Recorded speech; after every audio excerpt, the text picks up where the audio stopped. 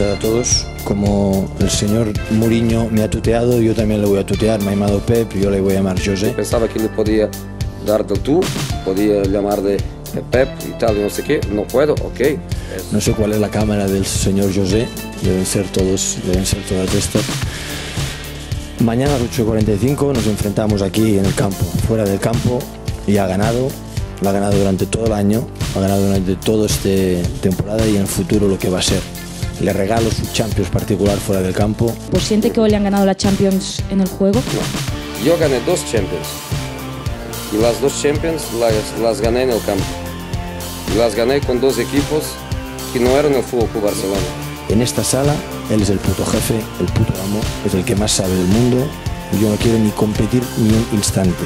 Solo recuerdo que hemos estado juntos cuatro años. Él me conoce y yo le conozco y con eso me queda. Josep Guardiola es un entrenador fantástico de fútbol, un entrenador fantástico de fútbol, yo repito, pero ha ganado una Champions que a mí me daría vergüenza de ganarla, porque la ganó con el escándalo de Stamford Bridge.